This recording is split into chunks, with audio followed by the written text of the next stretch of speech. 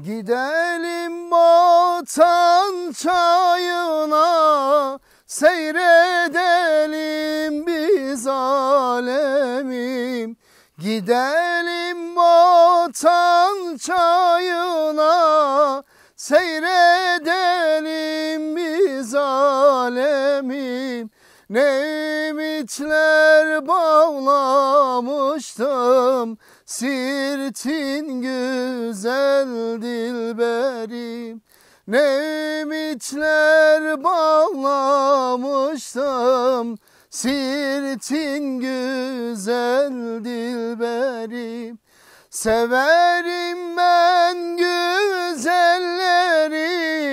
Senin gibi olsun ellerim Severim Senin gibi olsun illerim. Ne ümitler bağlamıştım. Sirtin güzel dilberim. Ne ümitler bağlamıştım. Sirtin güzel dilberim Evet, e, öncelikle söylediğim türküyle ilgili bir açılımını yapayım. Bu türkünün sözleri Siirt'imizin değerli e, tabii ki şiirden alıntı olan bir eser. Ve birkaç parça Cumhur Kılıçoğlu abimizden aldık. Onunla ilgili birkaç işleme yapmak gereği duyduk. E, Cengiz Sarmantan abimle beraber. Sözleri bir düzenleme yaptık. Tabii ki bu şarkı dört kıtalık bir şarkı.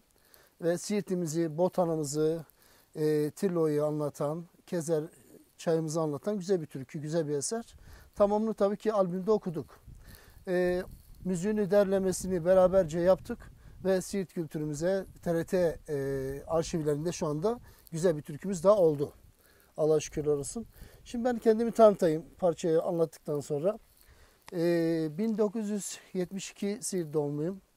E, müziğe çok ilginç bir şekilde başladım. Şimdi bunun e, 30-32 yıl, 33 yıl oluyor. Orta 3. sınıftayken e, bir cuma günüydü. E, İstiklal Marşı için e, cihazlar kuruluyordu. Oradan ses veriliyordu. Oradan e, İstiklal Marşı'nı okuyup ondan sonra dağılıyorduk.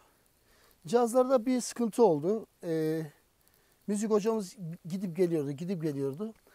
Müdürler herkes bekliyor, saygı duruşu bitmiş. Ben de oradan birden İstiklal Marşı'na girdim. Yani bir anda bile ağzımdan çıkamış oldu, fevri oldu.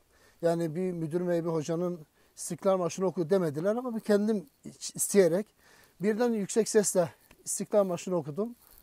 Ee, arkadaşların hepsi de bana eşlik etti ve o günü çok güzel kurtardık. Ee, İstiklal Marşı bittikten sonra müzik hocamız Perran Hanım e, kendisi beni çağırdı, teşekkür etti. E, pazartesi okul müdürü beni çağırdı. O günkü hareketinden dolayı çok memnun olduğunu teşekkür etti. Okulun müsameresi vardı. Müsamere için işte hazırlık yapılıyordu. Beni de e, müsamereye kattı. Tabii ki o zamanlarda bir tane türkü okudum. Siyah saçlarında atem yüzleri diye bir türkü vardı. Onu okuduktan sonra müziğe e, atılma hissiyatı doğmaya başladı. Yani müziği seçtim öyle diyeyim. Yani derslerden çok müziğe bakmaya başladım. Lise 1'de e, yine bir halk eğitim müsameresi varken e, bizim değerli hocamız Mahfuz Özarpak bağlamacı hocamız. Bir de Oktay Oktay Antep'ten değerli bir kardeşim. O da şu anda kendisi müzik öğretmeni Antep'te. E, bir bayan sanatçı vardı. Kendisi rahatsızlanınca e, iki sanatçı istiyorlardı. Ordu evinde bir de halk eğitim için. E, hastalanınca işte Oktay'la Mahfuz abi beni aradılar. Yanımıza geldi. Gençlik merkezine gittim o zaman. E, lisenin karşısında gençlik merkezi vardı. Oraya gittim orada bir iki tane türkü okuduk, ezberledik. Müsamereye çıktım. Müsamereden sonra e, aynı akşam Grup Kervan diye bir ekip vardı. E, Siirt'te 4-5 ekip vardı. Onlardan bir tanesi Grup Kervan'dı. Grup Kervan'da e, bağlamacı Reşet abi vardı. Sanatçı ise Kadir Akınay abimiz vardı. Geldiler yanıma. İşte e, düğünlere çıkıyoruz biz. Programlara çıkıyoruz. Mahalle düğünlerine. Salı, çarşamba, perşembe. Düğünler 3 günden oluşuyordu. e, yoruluyorlardı tabii kendileri. Bir yardımcı sanatçı yani böyle arayı kapatacak. İşte önemsiz geceler salı ve çarşambaydı. Genelde düğünün önemli geceleri perşembe günü. Gerde gecesi oluyor. Ona gerde gecesi diyorlardı. Yani bizi salı kullanıyorlardı. Çarşamba eh biraz kullanıyorlardı. Perşembe günü otur dinle bizi diyorlardı. Tabii ki ustalarla beraber olmak bizim için şerefti. Kadir Akınay o zaman hakikaten Siirt'te 4-5 sanatçıdan e, en iyilerinden bir tanesiydi Kadir Akınay. E, kendisi sağ olsun e, beraber çalışma teklif edince tabii ki yok deme şansımız yok. Mutluluk duyduk. Beraber düğünlere çıkmaya başladık. E, peyderpey öğrenmeye başladık. Çıktıktan sonra yavaş yavaş kendi grubumuzu kurduk. Ondan sonra ilerlemeye başladık. Bununla beraber e, tabii ki her sanatçı gibi bizler de yokluktan geldik. Onu da söyleyeyim. Yani direkt böyle sanatçı olmadık. Direkt e, mesela ben hatırlıyorum ilk pantolonumu e, simit ve tatlı satarak aldım. Onunla da sahneye çıktım. Aynı ki hatta e, simit ve tatlı 23 Nisan'da Cengizhan, Cengiz Sarantan abimle beraber e, satış yapıyorduk. Kendi, e, öğrenciler işte e, 23 Nisan'da güzel kıyafetleriyle yürüyüşlere bayrak, filama taşırken bizler ise e, hocalar bize siz gelmeyin size istirahat biz de seviniyorduk. Bizim ekmek kapımız e, tatlı simit ve nohut satmaktı. E, şükürler olsun onlar da yaptık. E, boyacılık da yaptık. E, bir terlikle iki ayakkabı alıyorduk. Mesela boyacı yap, terlik götürüyorduk. İki tane adamın ayakkabısını alıyorduk. Birisini de sandalye ayakkabısını alıyorduk. Sırf daha fazla para kazanmak için, kaçırmamak için. Diğer başkasına gitmesin diye. Öyle hani derler ya kökten geldik. Yani işin gerçeği bu artık sanatçıların bir e, acı tarihi midir? Hep yokluktan gelmedir. Yani genelde büyük sanatçılarda da öyledir. Yani sadece yerelde değil. Yani büyük sanatçılarda da sorarsanız e, Mahsun Kırmızıgül bile Diyarbakır'da bilet satmış adamdır. Ali Şan kendi memleketinde kendisi de e, yine aynı şekilde bilet satmış, tatlı satmış adamdır.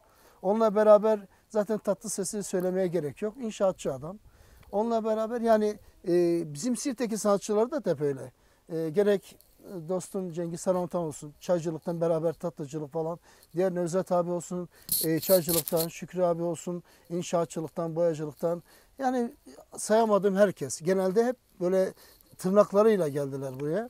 Ve zaten 5-6 kişiyiz. Yani bizim burada ha bizden sonra bir e, versiyon var mı? Şu anda gerçekten de ufukta 2-3 kişi var ama yani inşallah e, daha çok olacak. Şu anda e, hali hazırda bir dernek kurduk. O dernekle ilgili çalışmalarımızın en büyük e, olayı da şu. Beraber şarkı söylemektense nesil yetiştirmek. Bizden sonrakilere şöyle bir kapı açmak.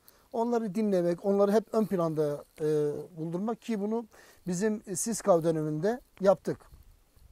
Öğrencilerimiz vardı. Şu anda kendileri müzik öğretmeni. Siirt'te şu anda 12 tane müzik öğretmeni varsa lise, ortaokul, ilkokul yani yüzde yetmiş, yüzde sekseni bizim öğrencilerimiz. İsim de verebilirim onlarla ilgili. Kendileri e, bizim Siskal Ses yarışmasına geldiler. Gitar kursuna geldiler. Bağlama kursuna geldiler. Ve ondan sonra oradan bir e, derlere güneş doğdu. Şu anda öğretmendirler. Kendi yeğenim de dahil. E, onlarla da iftihar ediyoruz. En azından şu var. Bizi gördüklerinde bir programda bir çünkü yarın bugün biz müziği bırakacağız. 2 yıl, 3 yıl yani yeter diyeceğiz. Çünkü biz de evli barklı çoluk çocuk sahibiz. Artık bir yerden sonra güzel bir yerde bırakmak lazım. Yani iterek kakılarak olmaktansa en iyi yerde bırakmak lazım. Ben öyle düşünüyorum. Ee, ki kafamızda da var. Yani 2-3 yıl sonra artık bu işi herhalde bırakma gibi bir niyetim var benim. Kendi adıma söylüyorum. Yani bizden sonrakilerin azından valla Lütfü abi, Cengiz abi, Ahmet abi, Nevzat abi ve Muharrem abi isim olarak teşekkürlerini bildirsin bize yeter onlar. En büyük sermayemiz de onlardır. Onunla beraber işte e, doğal olarak albüm talebi geldi. E, belki Türkiye'de öyle diyeceğim. Türkiye'de üç dilli albüm yapan belki ilk sanatçılardan bir tanesiyim. Kürtçe, Türkçe, Arapçayı bir albümde. Tamam okuyan çok kişi var ama albüme taşıma sisteminde. İlk e, albümümüz zaten Türkiye albümü, Siirt Türküleri albümü oldu.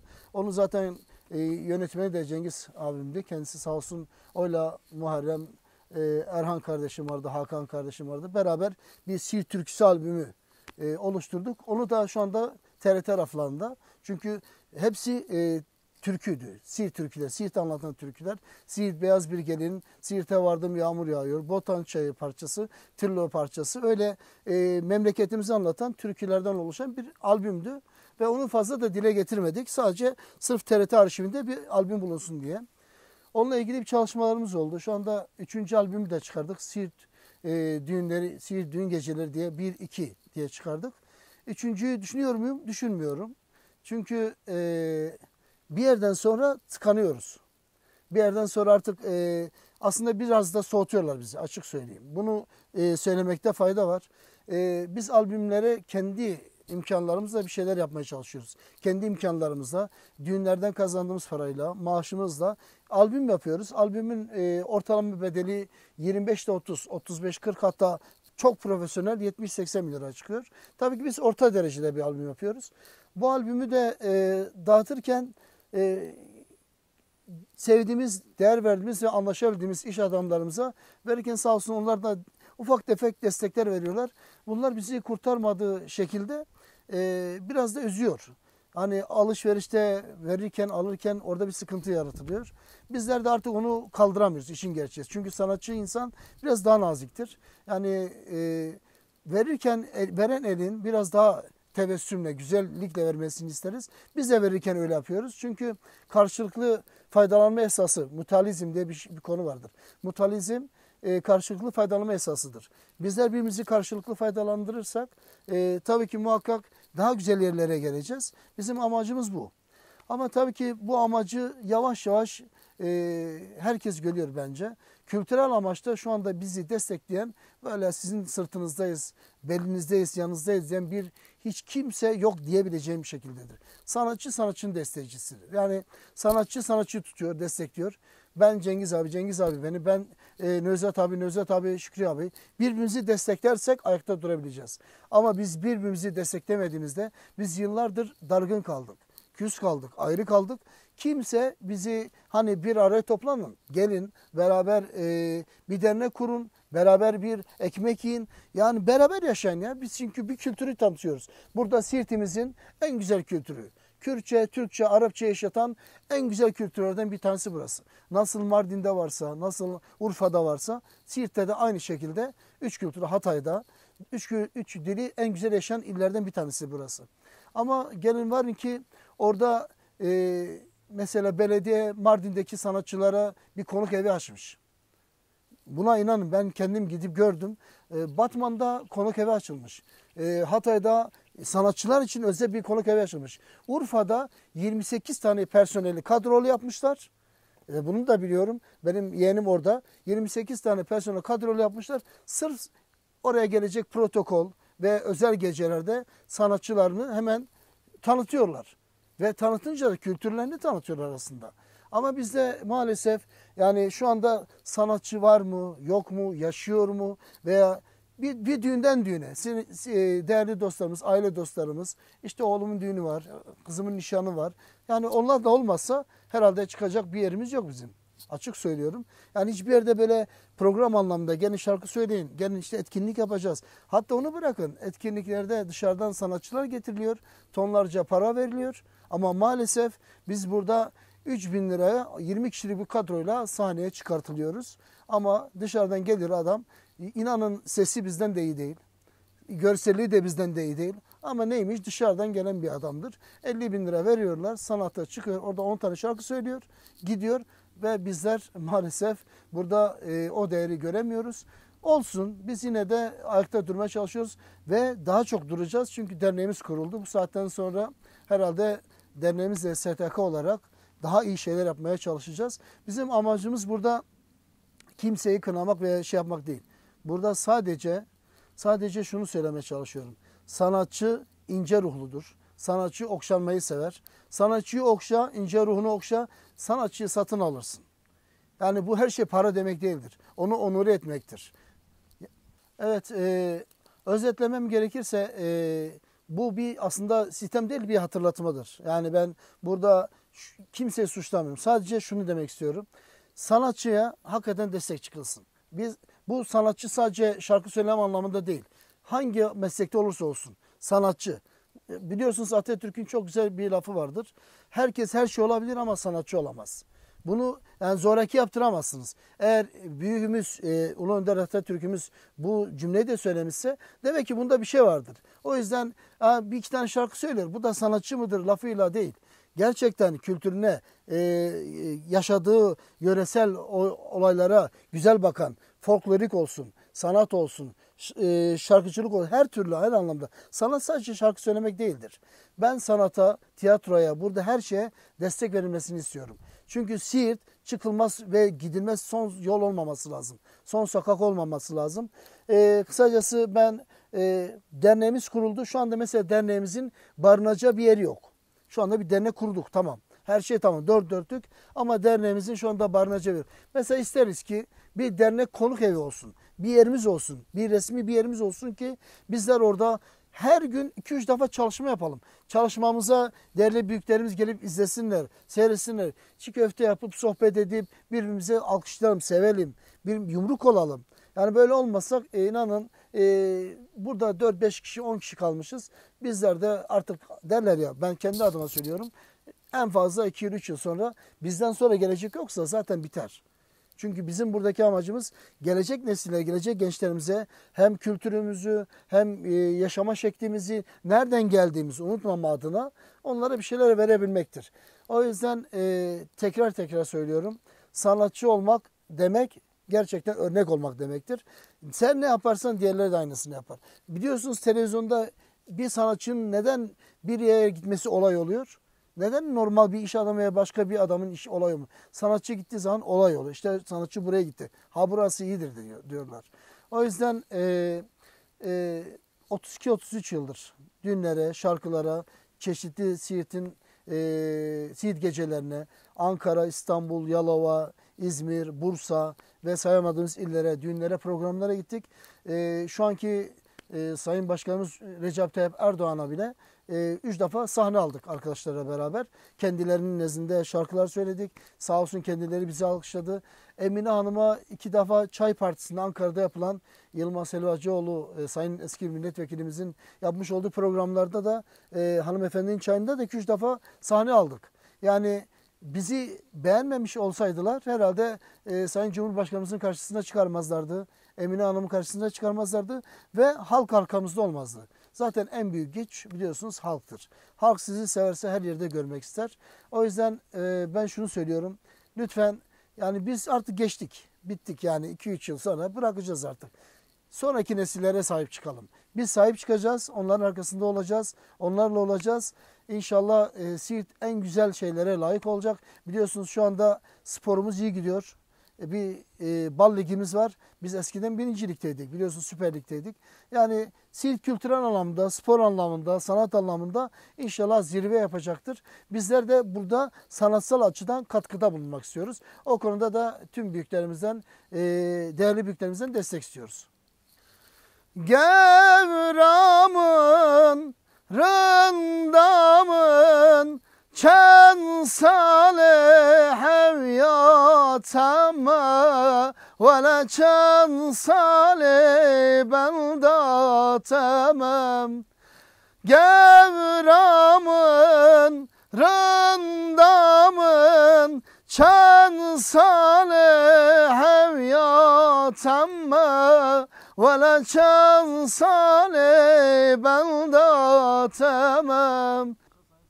الو الو حالا دینو سمرشو خوشیرینو هر یادینو یای هر یادینو وای وای سمرشو یای پیرشنین وای وای الو الو حالا دینو Sembresho Khushirino Kese aliyo Mermer kişene Vay vay Sımbırza şa Pürşerine vay vay Kese aliyo Mermer gişere vay vay Sımbırdanino Berdivare vay vay Halo Symbrasho, khushirino, Alo, Alo, Alo, Alo, Anodino, Symbrasho, khushirino.